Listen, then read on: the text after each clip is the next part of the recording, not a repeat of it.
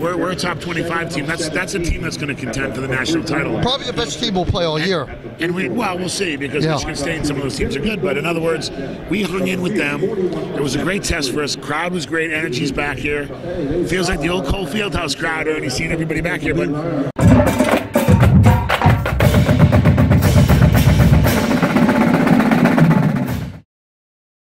Good evening from Xfinity Center. Virginia breaks their losing streak against teams with University of Maryland in their name. Terps go down 76-71. Uh, on in a little bit, we're going to have the Grahams, Jonathan and Ernie, and, and other special guests. But for right now, Mason, Bruce, what'd you make it tonight? Uh, pretty much how me and Mason saw it. I mean, number four against 24. Virginia's the best team Maryland will play this year, maybe along with Michigan, but they lost by five points. Had a couple critical turnovers when they had a shot to cut the lead. But Virginia was great. They are great early that first half. They were unbelievable. One turnover, uh, eight threes. They were almost flawless in that first half. Yeah, I saw a lot of the same. Um, I'll go on a different note. Maryland had their chances and they just didn't make the plays. The uh, turnover or missed shot by Ayala and the tap back that didn't happen. Uh, you can just point them out. You can go through the game and say, "Here are the plays that we needed to make to win, and we didn't make them." And that's that's that's a good story. Okay, look, Maryland did what Maryland does, and it almost worked at the end. Couple plays away, you can't miss that many free throws, layups, etc. When you're the underdog. Guys, 48 to 31, they were down. Yeah, and not a lot of teams get back in it against. and they got in against the number four team in the country, almost back.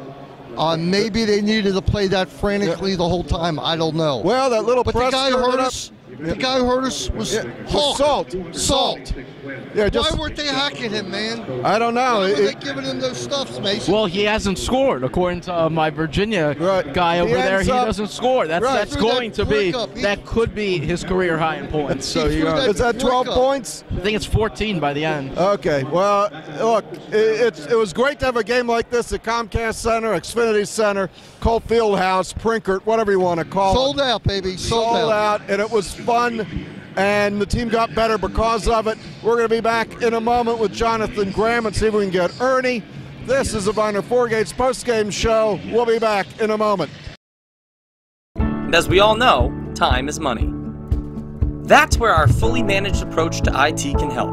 With proactive remote monitoring and management, we're able to keep tabs on your IT infrastructure 24 7, 365 days a year. Want to learn more? Drop us a line today to see exactly how we can help keep your systems running smoothly and keep you focused on what matters most growing your business.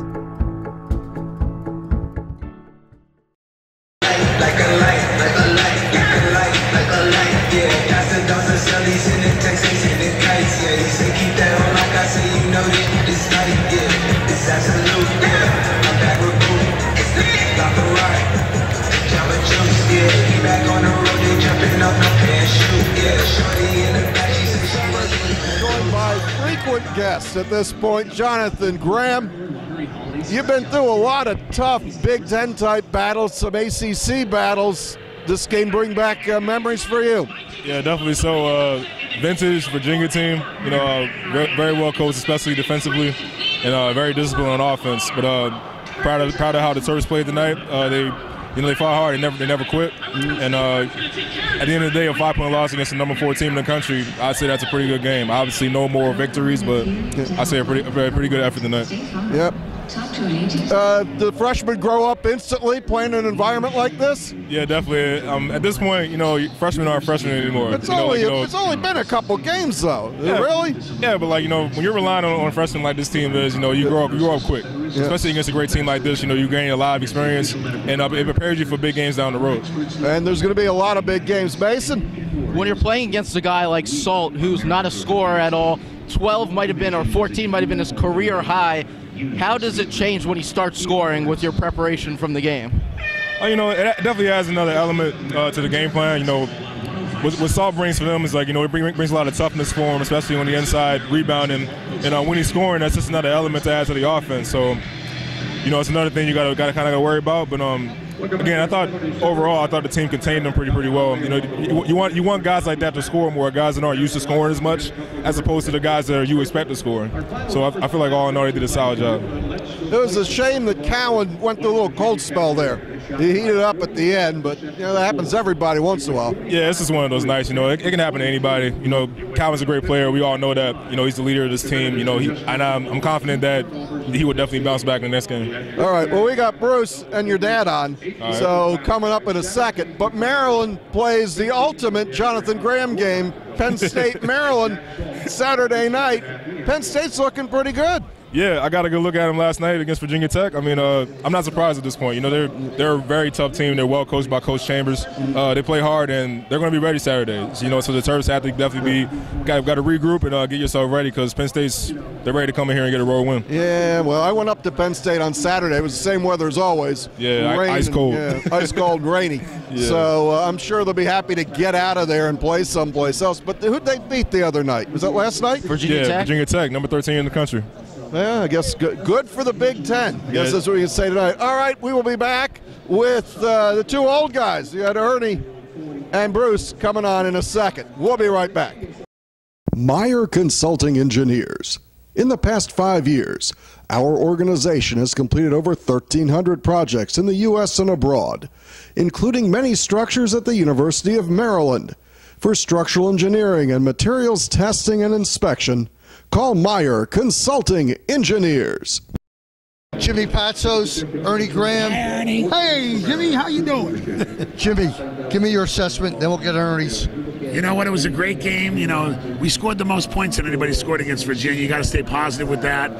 Um, we had our chances when Jerome missed his free throw, but I thought Ayala and Wiggins getting 13 each. And but when Bruno goes to block shots, everybody has to rebound. We kind of got beat on the offensive last there, but great test for us. Helps us get better and prepares for the big games down in the Big Ten. Ernie?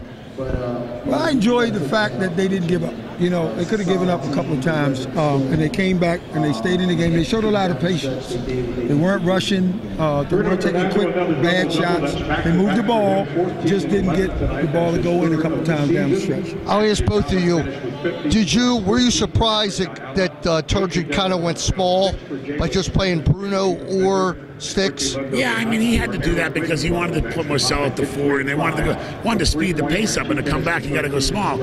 I just think everybody has to understand we're, we're a top 25 team. That's that's a team that's going to contend for the national title. Probably the best team we'll play all year.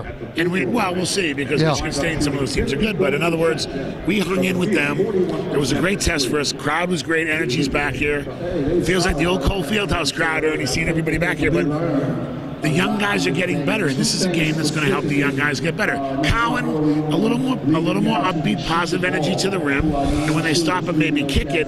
But let me tell you something: Wiggins, Morsell, Ayala, who are young, and then Sticks is a great player, Jalen Smith, and Fernando's doing some things. But when he goes to block the shot, everybody else has to rebound. That hurt us tonight, but we're learning and getting better. Right. Should have been hacking 33. I mean, the big guy, Salt, put him on the line. Out. You can't stand there and watch the play. Right. Once the shot goes up, you got to find him.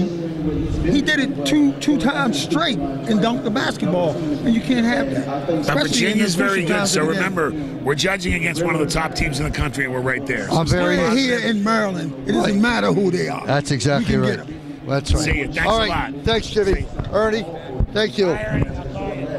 Sign off, Wayne. Well, I think that was an all-timer there, Bruce, from Xfinity Center for intern Mason, Bruce Posner, the whole Hey, Sports Maven Saturday at 9 o'clock. We'll be here for the post game against Penn State. Saturday night should be interesting to see how we rebound. And the Ravens and Lamar Jackson. Remember, in the nest, we'll preview that game on Sunday. So uh, Mason's right off camera, but for all of us, good night from Xfinity Center. The team learned a little bit tonight. We'll be better next time.